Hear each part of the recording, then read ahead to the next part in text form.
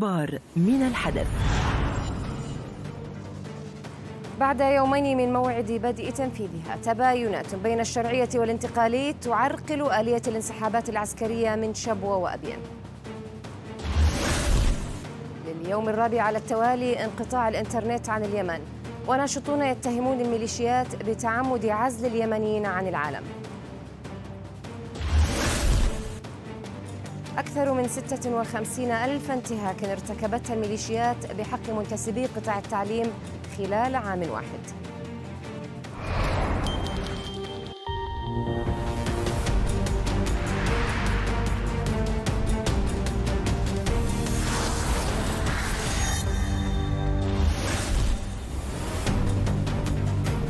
أهلا ومرحبا بكم إلى الحدث اليمني وساعة مفصلة والبداية من اتفاق الرياض حيث التقى رئيس الوزراء اليمني الدكتور معين عبد الملك في العاصمة المؤقتة عدن سفراء كل من الاتحاد الأوروبي وفرنسا والسويد والدنمارك المعتمدين لدى اليمن. السفراء الأربعة الذين وصلوا إلى عدن لأول مرة منذ أحداث أغسطس الماضي ناقشوا مع رئيس الوزراء وضع اتفاق الرياض وأهمية الخطوات المطلوبة لتنفيذ الاتفاق الذي يساعد على انتقال اليمن نحو تحقيق السلام الشامل. سفير الاتحاد الأوروبي صرح بأنهم بحثوا أيضا خلال لقائهم رئيس الوزراء دور الأحزاب السياسية في مواجهة التحديات إضافة إلى مناقشة الملف الاقتصادي. بعد يوم على الموعد المقرر لبدء تنفيذ الشق العسكري والأمني من اتفاق الرياض. لا يزال الاتفاق الأخير بين الحكومة اليمنية والشرعية والمجلس الانتقالي الجنوبي يراوح مكانه وسط تباينات بين الطرفين. يرى سياسيون أنها قد تؤدي إلى تعطيل الانسحابات وتسليم الأسلحة وبالتالي عرقلة الاتفاق آلية الانسحابات العسكرية والأمنية التي وقعتها الحكومة الشرعية مع المجلس الانتقالي الجنوبي الخميس الماضي في الرياض تواجه تحديات ميدانية تهدد بعرقلة تنفيذها. هذه الآلية دخلت يومها الثاني دون أي تحرك ميداني للقوى الأمنية والعسكرية في محافظتي أبين وشبوة. وكشف الطرفان الموقعان عن تباينات في طبيعة القوى المطلوب انسحابها والتي ستحل محلها. الناطق باسم المجلس الانتقالي نزار هيثم قال إن قوات الحزام الأمني وألوية الدعم ستتولى المهمة الأمنية عقب الانسحابات ما أثار غضب وانزعاج الحكومة الشرعية. السلطة المحلية في محافظة شبوة ردت على الانتقالي ببيان تفصيلي قالت فيه إن القوات التي ستنسحب هي اللواء 21 ميكا فقط وتحديدا من مناطق عزان وجنوب شبوة وسيعود إلى عاصمة المحافظة عتق. وأضاف البيان أنه سيحل مكان اللواء 21 ميكا قوات من اللواءين الأول مشاة جبلي والثاني مشاة بحري مؤكدا أن قوات الأمن الخاصة وإدارة الشرطة في المحافظة هي التي ستنتشر. مصادر في الانتقال تتهم التجمع اليمني للإصلاح ومراكز قوى قريبة من الرئيس هادي بالعمل على إفشال تنفيذ الشق السياسي من اتفاق الرياض لتعيين محافظين وتشكيل حكومة جديدة. وهو ما يجعل عملية تسليم وتجميع الأسلحة في عدن مهمة معقدة تهدد بإفشال الاتفاق. مصادر سياسية كشفت أن ضغوطا كبيرة تمارس لتغيير رئيس الوزراء الحالي معين عبد الملك بعد فتحه ملفات الفساد عقب عودته إلى عدن على الرغم من الدعم الذي يحظى به من مختلف القوى السياسية والتحالف أيضا. ينضم إلينا من الرياض الباحث السياسي محمد صالح السعدي. أهلا ومرحبا بك أستاذ محمد. أستاذ محمد يعني آه، تباينات كما تحدث التقرير وكما تشرحها أيضا أرض الواقع تعيق تنفيذ هذا الاتفاق أو توقيع الجزء المخصص بالجانب الأمني والعسكري. ما هي هذه التباينات؟ آه، القضية ليست هنا بالتباينات ولكن تصريحات آه، الناطق الرسمي المجلس الانتقالي آه، أساءت كثيرا خلال اليومين السابقين بأنه يجب أن ينسحب الجيش وينسحب الأمن وأن يحل الحزام الأمني والميليشيات محل هذه القوات. أعتقد أن اتفاق الرياض واضح بنوده واضحة أن يكون هنالك إعادة دمج للأحزمة الأمنية والميليشيات ضمن إطار مؤسسات مؤسسات الدولة الأمنية والعسكرية وأن يتم ترقيمهم وإعادة هيكلتهم تحت إشراف الدولة وأن تخضع إلى السلطات المحلية. لا, لا معنى ليس لا يعني ذلك بأن السلطات المعنية ستتخلى عن قواتها أو ستتخلى عن الوحدات العسكرية الرسمية. بالعكس هي ستكون جزء من هذه القوات جزء سيذهب إلى الجبهات وجزء سيكون مع قوات الرسمية الموجودة آه، التي تشرف عليها السلطات المحلية آه، تخضع للمؤسسة الأمنية والعسكرية. للأسف التصريحات آه، لا تدفع إلى تنفيذ اتفاق الرياض بالعكس هذه تصريحات أعتقد أنها خاطئة وليست سليمة وبعيدة كل البعد عن بنود اتفاق الرياض التي رعته المملكة العربية السعودية وبعيدة عن ما احتوته المصفوفة التي تتضمن آليات التنفيذية لاتفاق الرياض في شقها الأمني والعسكري والشق السياسي أيضا. نعم إذا سينضم إلينا أيضا من عدن أستاذ نزار هيثم المتحدث الرسمي باسم المجلس الانتقالي الجنوبي. أهلا ومرحبا بك أستاذ نزار. أستاذ نزار استمعت الآن إلى هذا الحديث في أن هناك تباينات هي ما عرقلت وأخرت تنفيذ هذا الشق الأمني والعسكري. ردكم على ذلك آه، إذا كان هناك تباينات فهي في إطار الشرعية ذاتها. المجلس الانتقالي الجنوبي دائما هو المبادر آه، وبشكل إيجابي مع التحالف العربي آه، لتنفيذ بنود اتفاق الرياض. للأسف هناك أطراف متمردة على الشرعية وعلى التحالف العربي. هي من نواجهها الآن وأعتقد أن المرحلة الثانية من اتفاق الرياض يعنيها بالكامل وأعتقد أنها لابد أن تنصاع لإرادة الجميع و لحتى تتوجه المعركة باتجاه الشمال وليس الجنوب آه، تلك القوات القادمة من محافظة الشمال. دورها الحقيقي في مواجهة الحوثي وليس في غزو الجنوب آه، كما يعملون الآن.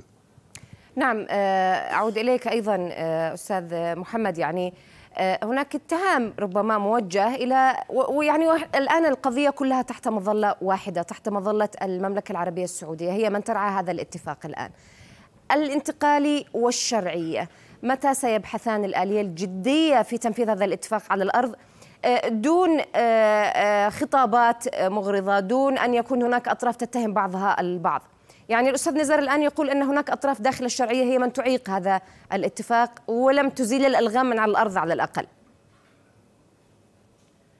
آه للأسف آه لم يتغير خطاب الانتقالي. لا زال الخطاب الانتقالي يقول بأن هناك أطراف داخل الشرعية متآمرة. آه أولا آه الشرعية تضم كافة القوى السياسية. لا توجد قوى سياسية آه تملك ميليشيات كالانتقالي الانتقالي من شن المعركة في أحداث أغسطس والذي أعلن بشكل واضح بأن حادث الجلال الذي يقتل في أبو اليمامة آه نفذته جماعة الحوثي ولكن رفع سلاحه ضد الشرعية الدولة قاتل آه ضد الشرعية. للأسف هذا هذا الأمر الذي لم نستطع أن نفهمه. وتمكنت الشرعية ولها الحق باستخدام قواتها أينما كانت هي تمثل الدولة في ربوع اليمن من الصعده إلى المهرة. تمكنت من تحرير كثير من هذه المناطق وصولا إلى داخل آه، العاصمة عدن ولولا بعض التدخلات وتدخل التحالف كان اليوم آه، العاصمة عدن تحت سيطرة الشرعية، الشرعية كدولة وتحترم التحالف وعلى رأس المملكة العربية السعودية آه، قبلت بهذا الاتفاق ووقعت على هذا الاتفاق وشكلت لجان برئاسة مستشار الرئيس أحمد عبيد بن دقر لوضع المصفوفة وهي مستعدة لهذا التنفيذ وفق البنود الواضحة والتي تعلم بشكل واضح أن جميع آه، الميليشيات الموجودة يجب أن تنضوي تحت مؤسسات الدولة. السؤال هنا الذي وجهه إلى آه، الناطق الرسمي الانتقالي. هل تقبلون بأن ما لديكم من قوات تخضع إلى مؤسسات الدولة الشرعية والحكومة؟ هذا هو السؤال الكبير الذي نسمعه من تصريحاته بأن الحزام الأمني سيبقى حزام أمني. هذا غير موجود في بنود الرياض وغير موجود في المصفوفة. ماذا يريد بالضبط من هذه التصريحات؟ الشرعية ملتزمة ولو تجد لديها أي إشكاليات إلى الآن. هم يقولون على القوات نعم. التي في شبوة وإبيان أن تنسحب. ستنسحب بعض الوحدات وفق الاتفاق لكن لا يمكن السلطة المحلية أن تسحب قواتها وأمنها وتسلمها لمن؟ تسلمها لميليشيات؟ مستحيل. آه، إذا ضيفي الكرام ستبقيا معي هناك آه، صور ستعرض الآن لمظاهرات إيران واشتداد هذه المظاهرات آه، كما تتابعون معي الآن.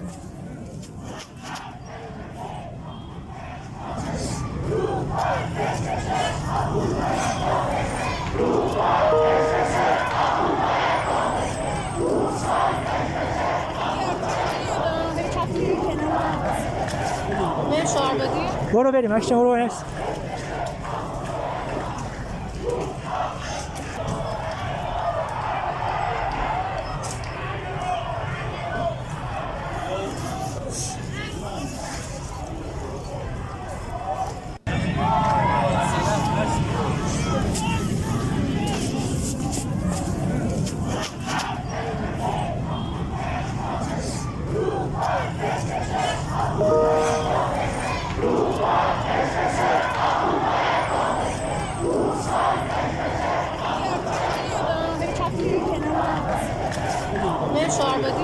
べるマキちゃんフォローです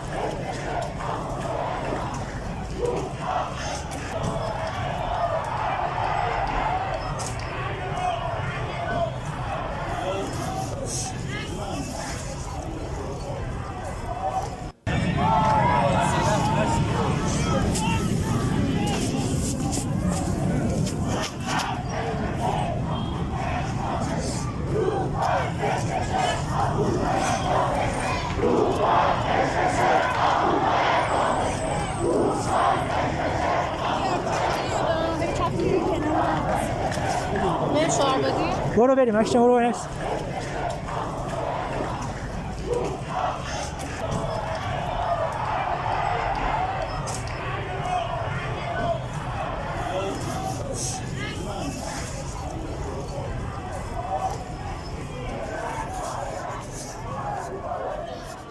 إذا أعود إلى ضيفي الكرام وتحديدا أستاذ نزار يعني أستاذ نزار آه، يعني كما تتابع الآن وكما آه، استمعت إلى حديث أستاذ محمد أنه آه، هناك خطاب يوجه من الانتقالي فيما يخص الحزام الأمني وفيما يخص الانسحابات وإعادة تشكيلها. على ماذا تم الاتفاق والتوقيع إذا لم تكن الأطراف متفقة من البداية؟ بالعكس الطرف المتمثل في المجلس الانتقالي الجنوبي موافق تماما على آه، بنود الاتفاق لكن الطرف الآخر هو الذي آه، يتواجد في أرض الجنوب وعليه أن يرحل إلى مناطق الشمال ليواجه الحوثي. آه، طبعا هناك مفهوم مغلوط لدى الإخوة وللأسف الحزام الأمني هو عبارة عن خطة أمنية تحتوي على مجموعة كبيرة من القوات الأمنية تسمى الإسناد والدعم والتي هي قوات شرعية بالأساس عندما يسميها الأخ ميليشيات. فهو في حقيقة الأمر يردد ما يقوله أبواق الإخوان المسلمين الذين آه، قنواتهم دائما تسيء لل طيب ولماذا لا تقرب هذه المسافات أستاذ نزار؟ يعني أين الخلل؟ لماذا لا تقرب هذه المسافات الآن؟ نتحدث عن قوى بحاجة إلى الانضمام إلى كيان واحد تحت مسمى دولة واحدة. أين المشكلة؟ أين المشكلة في المضي قدما؟ لأنه هذا الاتفاق يعني للناس الكثير وهناك إجماع دولي على أنه الخلاص الوحيد لليمن بالوصول إلى عملية سلام شامل. بكل تأكيد نحن مع آه، أولا توفير الأمن والاستقرار لمواطنينا وهذا ما عملناه جاهدين بعد أن تمكنا من طرد الحوثي من أرضنا. ولكن للأسف واجهنا آه، من قبل الاطراف الشرعية معاداة غريبة جدا بدلا أن تواجه الحوثي وجهت سلاحها ضد الجنوبيين. هذا ما نواجهه نحن في الجنوب وما أبلغنا فيه التحالف. وهذا ما جعل الأمور تتسارع باتجاه آه، خلق أزمات في الجنوب فقط وترك الحوثيين آه، للأسف أيضا يضغطون باتجاه الجنوب. وكأننا نحن طيب في مرمى هذه هذه الأطراف لماذا لا يتم التصريح عنها؟ يعني الآن حوار يحضره آلاف الناس المتابعين لهذا الشأن والمهتمين بأن تعود اليمن. أرض مستقرة وأرض فيها سلام وأمان والأمان تحت كلمة كبيرة. من هي هذه الأطراف التي تعيق هذا الاتفاق؟ أو تعرقل اتفاق الرياض برمتة. الأطراف التي تعادي التي تعادي المشروع العربي الذي تقوده المملكة العربية السعودية آه، هما طرفين أساسيين. المشروع الإيراني تقوده الحوثيون وأيضا آه، المشروع آه، للأسف مشروع الخلافة يقوده الإخوان المسلمين وممثلا بحزب الإصلاح. هذان المشروعان نقيضان ويواجهان المشروع العربي بكل ضروة أدواتهم للأسف لا زالت موجودة في آه، مناطق الجنوب ونحن نسعى مع التحالف العربي لإزالتها بكل تأكيد. إذا أعود إليك أيضا أستاذ آه، محمد. يعني الآن هناك كلام مباشر واتهام مباشر يعرقل المضي قدما في تنفيذ هذا الاتفاق. إذا كان هناك طرف الانتقالي يتحدث عنه أنه معرقل وهو من يعيد يعيدنا إلى إلى نقطة الصفر الآن في هذا الاتفاق. آه، لماذا لا يتم التفاهم معه أنه الأحزاب السياسية كلها تحت مظلة التحالف تعمل في تحقيق مصلحة اليمن الآن؟ اولا يا أختي آه، الناطق الرسمي الانتقالي يتحدث الآن بشكل رسمي بأن الحزمه الأمنية لن لن تدخل ولن آه، تقبل أن تكون جزء من المؤسسة الأمنية والعسكرية وهذا خالف بنود واضحة في الملحق الأمني والعسكري والذي نصت على دمج القوات وإخضاعها إلى المؤسسة العسكرية والأمنية.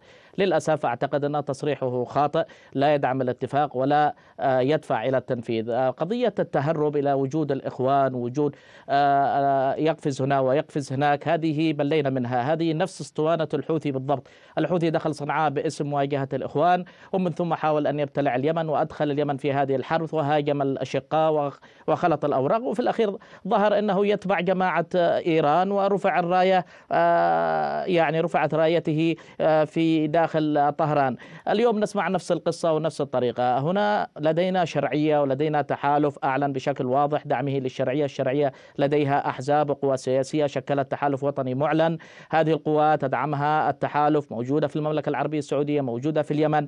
إذا هم لهم رأي الانتقالي عليهم أن أن يقولوا للمملكة لماذا تدعمون جماعة الإخوان المسلمين ضدنا؟ هل هو يتهم المملكة العربية السعودية الآن بدعم الجماعات الإخوان؟ هذا كلام غير منطقي هذا كلام يدخلنا في يعني أزقة محاولة للتملص من الاتفاق كسب وقت. أنا لا أعلم بالضبط ماذا يريد. أنا لست ناطق رسمي باسم الحكومة أنا مجرد محلل سياسي لكن هو ناطق رسمي للمجلس الانتقالي. كل كلمة يقولها يجب أن يكون حريص فيها. ما قاله الآن شيء يفاجئني. البند واضح في دمج القوات ودمج ما لدى الانتقالي والأحزمة الأمنية ضمن إطار الدولة والشرعية وافقت على ذلك هم أبناؤها وكلهم يمنيون وترى, وترى لهم جميعا من منظور واحد. لكن أن يقول الآن أنه أن الحزمة الأمنية لا تريد أن تدخل أعتقد أن هذا مخالف لبنود الاتفاق وأعتقد أنه تصريح خاطئ عليها أن يتراجع. الشكر الجزيل لكما ضيفي الكرام. كنت معي من الرياض الباحث السياسي محمد صالح السعدي. ومن عدن نزار هيثم المتحدث الرسمي باسم المجلس الانتقالي الجنوبي شكرا جزيلا. لليوم الرابع على التوالي يواجه اليمن انقطاعا لخدمة الإنترنت في معظم المناطق وسط تبادل اتهامات وجدل حول أسباب الانقطاع حيث اتهم ناشطون يمنيون ميليشيات الحوثي بتعمد تعطيل هذه الخدمة وعزل اليمن عن العالم. خدمات شبكة الإنترنت الدولية ضحية أخرى من ضحايا ممارسات وفساد ميليشيات الحوثي الانقلابية ونهبها للأموال العامة. فمنذ نهاية الأسبوع الماضي توقف نحو 80% من خدمة الإنترنت في معظم مناطق اليمن من بينها صنعاء وعدن اللتين انقطع سكانهما عن العالم بشكل كلي لتعذر عملية التراسل عبر الشبكة العنكبوتية. انقطاع خدمة الإنترنت صاحبه جدل حول أسباب هذا التوقف المفاجئ فبينما زعمت الميليشيات الانقلابية أنه ناتج عن تعرض الكيبل البحري الموصل للخدمة للقطع خارج اليمن وأنه يجري متابعة إصلاحه وعودة الخدمة لم يصدر عن الحكومة الشرعية أي تعليق. خبراء اتصالات في اليمن كشفوا عن وجود خلاف بين المؤسسة اليمنية للاتصالات وشركة يمن نت التابعة لها والخاضعتين لسيطرة الميليشيات الحوثية والمشغل الدولي لخدمة الإنترنت شركة فالكوم وأعزوا سبب توقف النت إلى تهرب ميليشيات الحوثي المسيطرة على تل يمن من سداد 150 مليون دولار مديونية مستحقة لشركة فالكوم الدولية. انقطاع خدمة الإنترنت فاقم معاناة اليمنيين الذين يعتمدون على التحويلات المالية الواردة إليهم عبر شركات الصرافة والتي شكى مالكوها من تعطل أعمالهم. نشطاء اتهموا الحوثيين بتعمد قطع الإنترنت في محاولة لعزل اليمنيين عن العالم مستدلين على ذلك بعدم وجود أي مصدر خارجي يؤكد انقطاع الكيبل البحري في منطقة قناة السويس كما زعم الحوثيون. ميليشيات الحوثي شنت مؤخرا حملة ضد مزودي الإنترنت المحليين وأغلقت نحو خمسين ألف مركز في مناطق سيطرتها بهدف إحكام السيطرة الكاملة على الاتصالات أمنيا وماليا حيث تقدر العائدات السنوية للحوثيين من هذا القطاع بأكثر من 80 مليون دولار. ينضم إلينا من القاهرة الخبير الاقتصادي اليمني الدكتور عبد السلام الأثوري أهلا ومرحبا بك دكتور عبد السلام. دكتور عبد السلام يبدو أنها آه، نفس الأجندة التي تلعب داخل إيران هي نفسها الأجندة التي تمارسها آه، ميليشيات الحوثي ضد المواطنين، بداية آه، عزل اليمن عن العالم، إذا انقطاع المعلومة، انقطاع الاتصال، وبالتالي تأثير اقتصادي ودمار وخراب شامل. إلى ماذا تهدف هذه الميليشيات؟ ما هي حقيقة هذا الوضع الآن داخل اليمن؟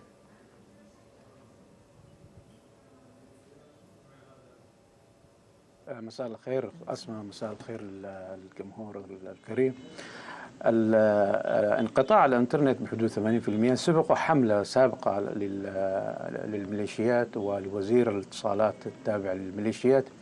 في الشهر الماضي أن هناك توجه وهناك أيضا اتهامات وجهت أساسا لموزعي شبكة الإنترنت الواي فاي بأنهم أساسا يمثلوا حالة من من التجسس ويبيعون منتجات محظورة عبر عبر الاتصال أو عبر شبكات الإنترنت وبالتالي لابد ما يتم التدخل للتحكم بشبكة الاتصال أو بشبكة الإنترنت. هذا الأمر أفضى بدرجة أولى إلى كشف أن ما حدث ليس له علاقة بمسألة قطع الكابل لو كان قطع الكابل كنا يعني عرفنا ذلك من خلال أيضا آه، الأخبار ومن خلال وسائل الاتصال مباشرة من خلال الشركة نفسها. آه، وهذا أمر لا يمكن أن يعني يخفى بان الشركة لا تعلن أن هناك مشكلة حصلت في في الخط الكابل. اذا هناك أيضا ثلاثة خطوط أخرى كابلات مرتبطة أساسا شبكة الإنترنت بها غير فالكون. آه، وكلها أساسا تزود يعني اليمن بخدمات الإنترنت. المشكلة الآن صار حالة غموض كبيرة جدا يتحملها بالدرجة الأولى ومسؤولية كبيرة تناط أساسا أو يعني تعزى بالدرجة الأولى لحالة قصور شديدة لدى حكومة الشرعية أو وزارة الاتصالات في الحكومة الشرعية التي لم آه، توضح حقيقة ما يحدث. هل هناك أيضا انقطاع للكابل حتى يكون هناك مبرر حقيقي لهذا الانقطاع أم أن هناك أيضا عمل موجه وعمل مبرمج تتخذه ميليشيات في آه، يعني التحكم بشبكة الإنترنت وأيضا في مسألة غلق يعني البلاد آه، من الاتصال أو من العلاقة مع الخارج.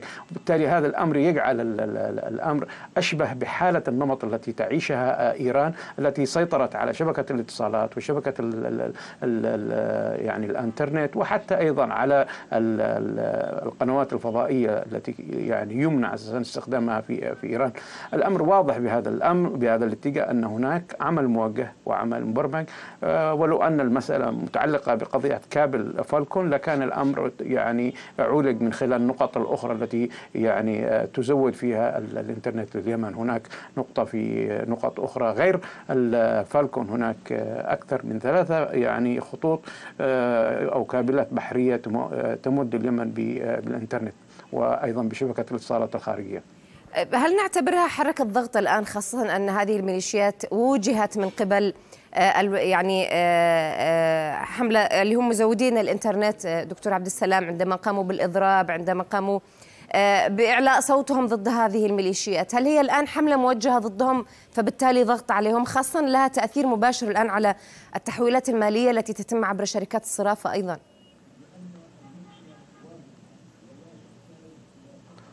يبدو أن هناك يعني عمل يقوم فيه تقوم فيه الميليشيات من حيث السيطرة على شبكة الإنترنت من حيث وضع أجهزة آه، يعني متابعة وتنصت حقيقي أو يعني آه، مراقبة لشبكة الاتصالات وشبكة الإنترنت التي تفضي في الأخير إلى نوع من الرقابة المشددة على لأنه أنا تابعت مسألة الحملة الإعلامية اللي كانت في الشهر الماضي على موضوع الإنترنت وأنه يجب أن يتم السيطرة على شبكة الإنترنت وعلى التحكم بمسارات يعني شبكة التزويد للإنترنت وبالتالي لابد من التحكم المباشر والمركزي في هذا في هذه الخدمة.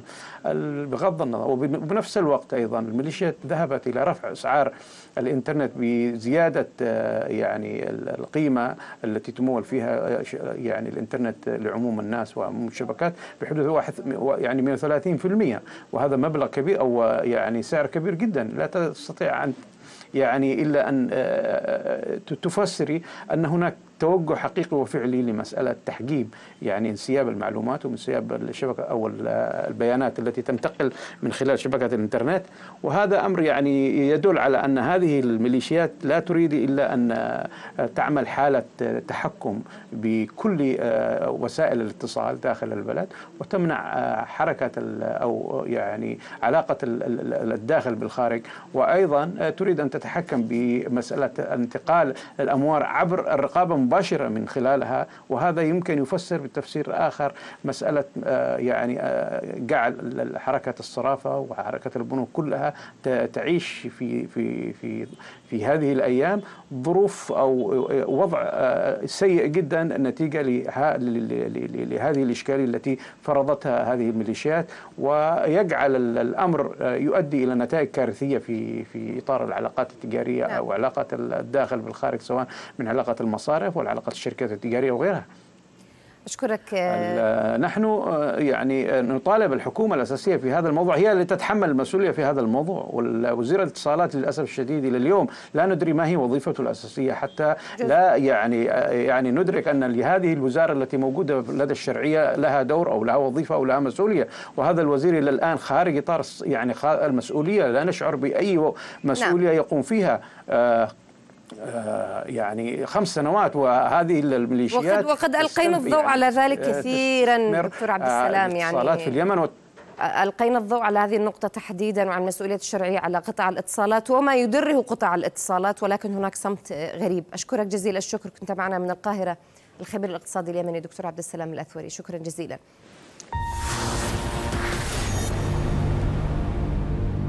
إذا مشاهدينا ما زالت المظاهرات مستمرة ونسنتقل بكم الآن إلى مدينة شيراز داخل إيران. بدء خروج تظاهرات في هذه المدينة كما تتابعون معنا الآن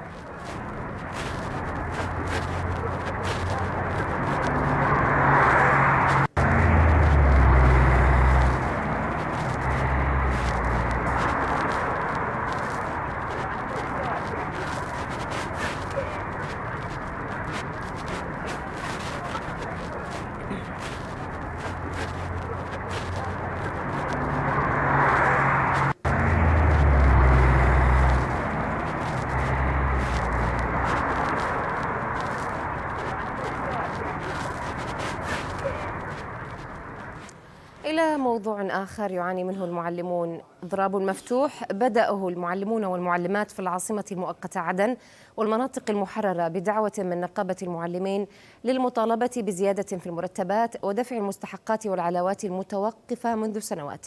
تفاصيل أكثر مع الزميل رتفان الدبيس.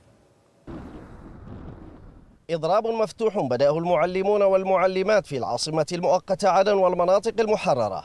بدعوة من نقابة المعلمين المطالبة بزيادة في المرتبات ودفع المستحقات والعلاوات المتوقفة منذ سنوات.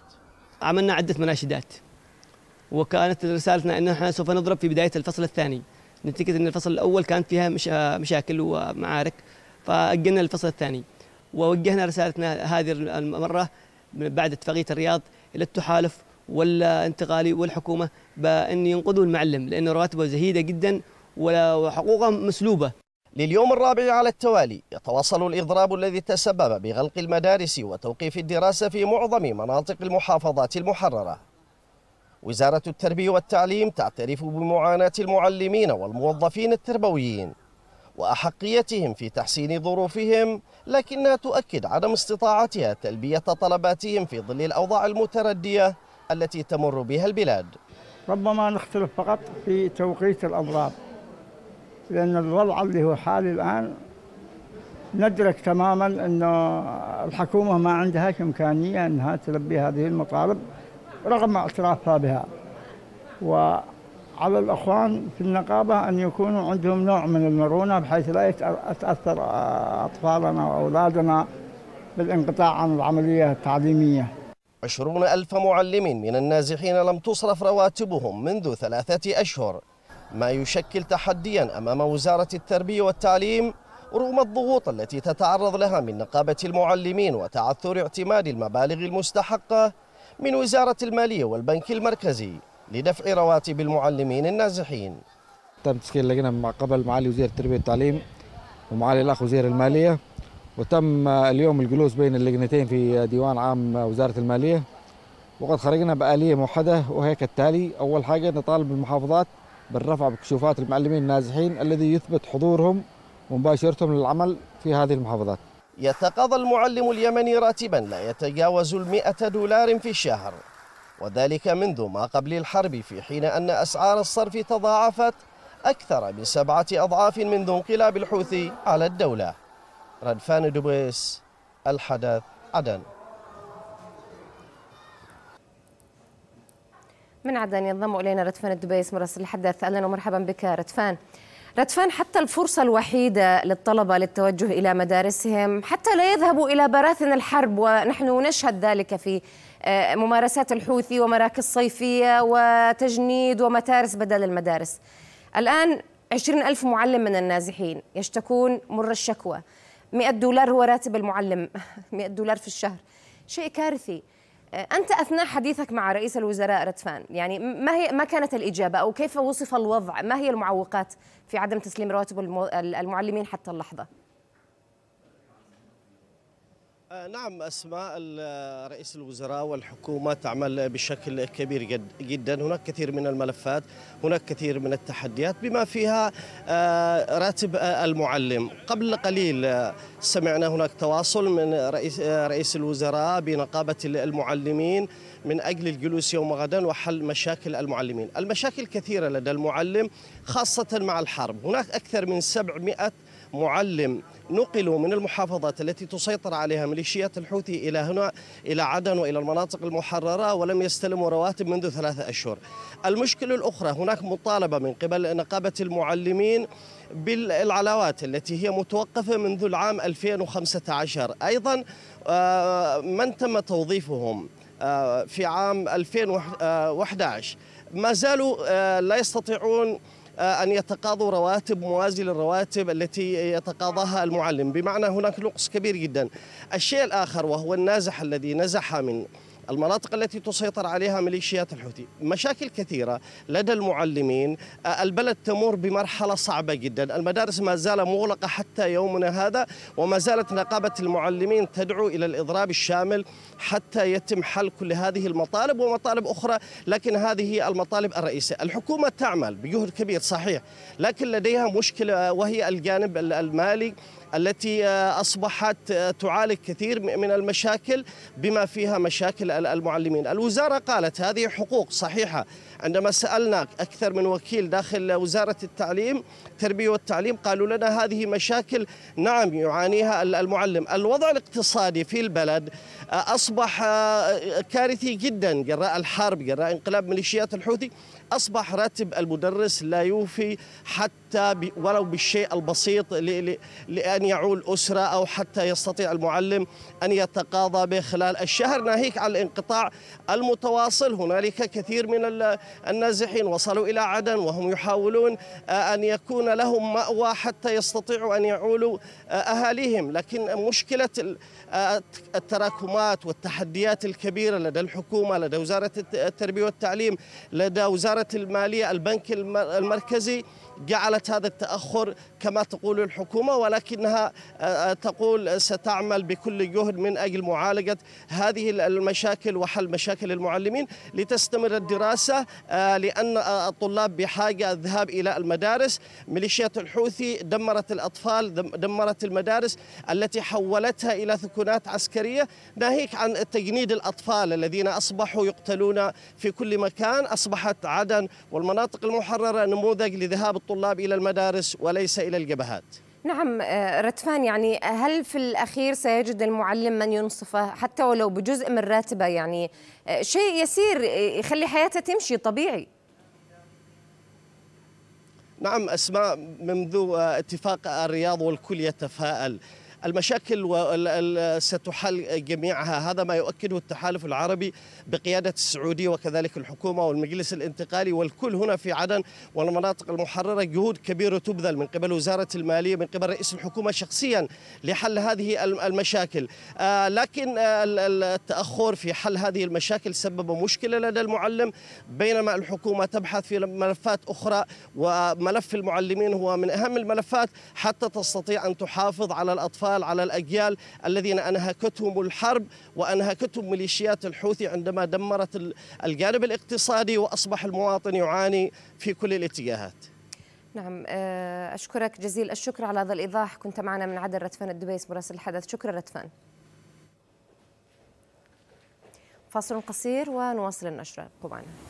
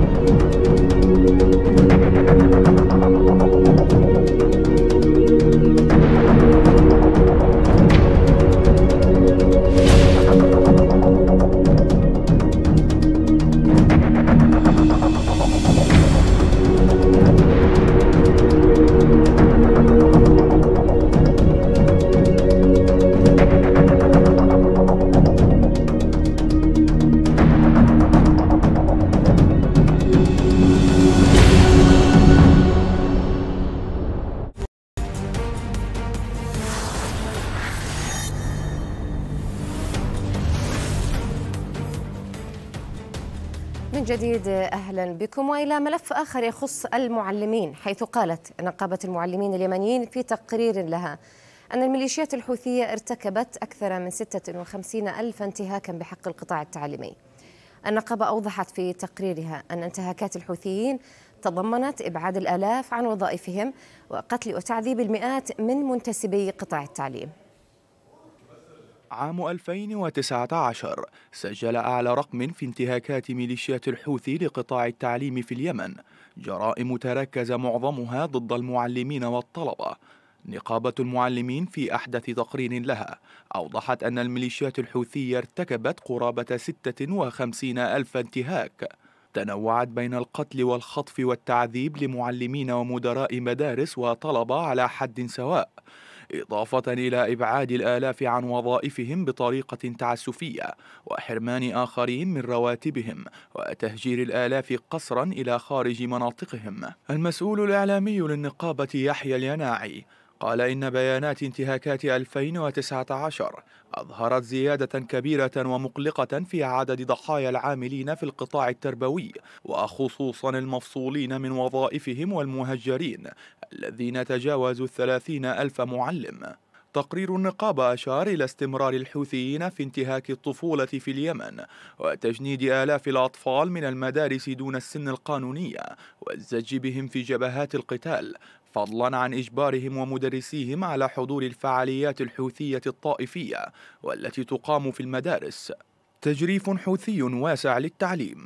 هكذا وصفت نقابة المعلمين المشهد التربوي في صنعاء بعد أن شهد العام 2019 تزايدا ملحوظا في عمليات فصل وتغيير مدراء المكاتب والمناطق والمراكز التعليمية في المحافظات الواقعة تحت سيطرة الحوثيين والتي وصلت نسبتها إلى أكثر من 90% مع استثناء المحسوبين على الميليشيات. ودعت النقابة لاحترام الطابع المدني للمدارس وفقا للقانون الإنساني الدولي وحماية المعلمين والطلبة كما طالبت المجتمع الدولي بحماية التعليم في اليمن من التسييس والعسكرة وبطش ميليشيات الحوثي بالمنتسبين إليه. عمار ياسر الحدث. ينضم إلينا من تعز أستاذ عبد الرحمن المقطري أمين عام نقابة المعلمين في تعز أهلا ومرحبا بك أستاذ عبد الرحمن. أستاذ عبد الرحمن يبدو أن هذا القطاع الحيوي نعم. الهام، القطاع الذي يعني العقل هو أكثر القطاعات التي تنتقم منه هذه الميليشيات. 2019 آه، سجل أعلى معدل في الانتهاكات لقطاع المعلمين وقطاع التربية والتعليم بشكل عام. أهم هذه الانتهاكات أستاذ عبد الرحمن.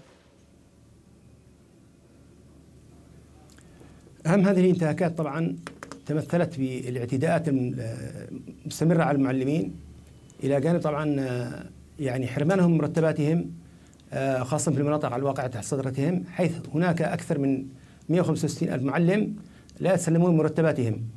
آه، أما الاعتداءات فهي مستمرة وقد نتج عنها قتل مئات المعلمين وبعض هؤلاء قتل تحت التعذيب والبعض الآخر يعني قتل آه، إما بالرصاص الحي المباشر وإما بواسطة آه، يعني الألغام والمتفجرات والقذائف التي يطلقونها على منازل المواطنين.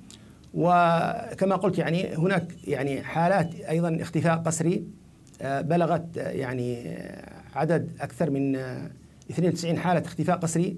بعض هؤلاء طبعا تعرضوا كما علم أهلهم لتعذيب آه، فظيع حتى أنه آه، لم يستطيعوا آه، يعني أن يخرجوهم بعض هؤلاء أيضا أصيبوا بالجنون نتيجة لهذا التعذيب وبالتالي يعني الميليشيا تمارس كل هذه الممارسات دون أن تجد من يضغط عليها من المجتمع الدولي أو المنظمات الدولية والمنظمات المعنية بحقوق الإنسان. آه، كثير كما قلنا من الانتهاكات يعني تحصل أيضا الفصل التعسفي من الوظيفة العامة. آه، أيضا تهجير المنازل تفجير منازل لعدد كبير من المعلمين مئات المعلمين فجرت منازلهم. عندنا في محافظة تعز عن أكثر من 50 منزل لمعلمين آه، يعني مناوئين للفكر الحوثي. فجرت منازلهم في أكثر من مديرية في صبر وفي صالة وفي جبل حبشي وفي أكثر من مديرية. هناك ممارسات كثيرة ومستمرة وأيضا كل يوم تبتكر الميليشيا وسائل من وسائل التعذيب وأيضا التجويع وأيضا التنكيل بالمعلمين وغيرهم أيضا من المواطنين. نعم أستاذ عبد الرحمن يعني حضرتك أمين عام نقابة المعلمين في تعز، دعنا نأخذ تعز على سبيل المثال. هذه المحافظة آه، ما زالت تقاوم يعني عرضنا تقارير لمحافظة تعز كثيرة جدا تحت القصف وما زال الطلاب يذهبون إلى المدارس. نفس العزيمة هي عند آه، المدرسين حتى رغم ما تحدثت عنه الآن من نقص رواتب ومن آه، بطش هذه الميليشيات.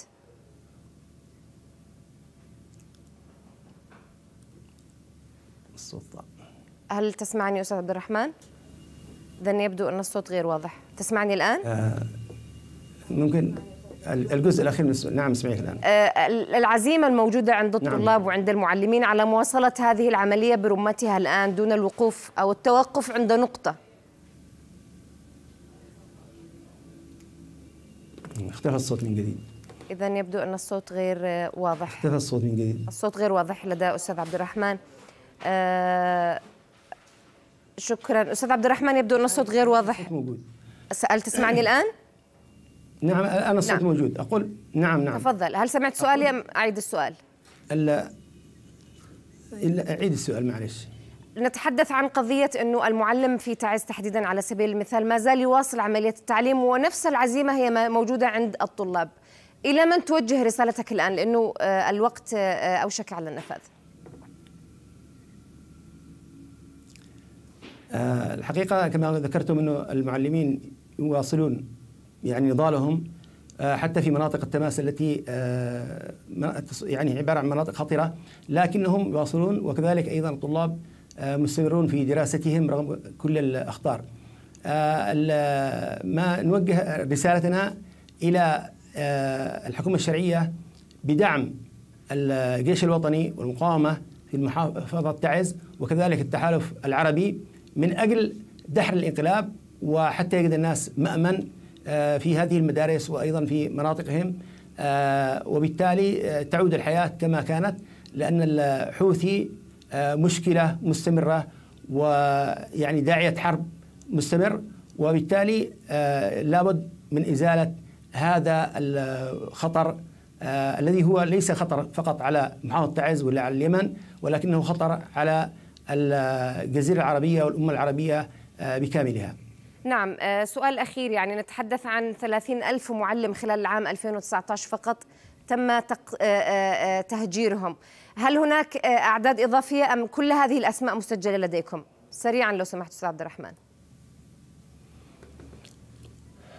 الحقيقة يعني لا زال عملية التهجير يعني تتزايد كل يوم. يوما في آخر تزداد أعداد المهجرين من المحافظات الواقعة تحت سيطرة الحوثي. ونتوقع أن تستمر هذه الأعداد في التزايد. ما لم يعمل المجتمع الدولي على كسر شوكة الحوثيين ويعني دعم الشرعية بحيث تستطيع أن تبسط سيطرتها على كل ربوع اليمن الحبيب. شكرا جزيلا. كنت معنا من تعز أستاذ عبد الرحمن المقطري أمين عام نقابة المعلمين في تعز. شكرا جزيلا.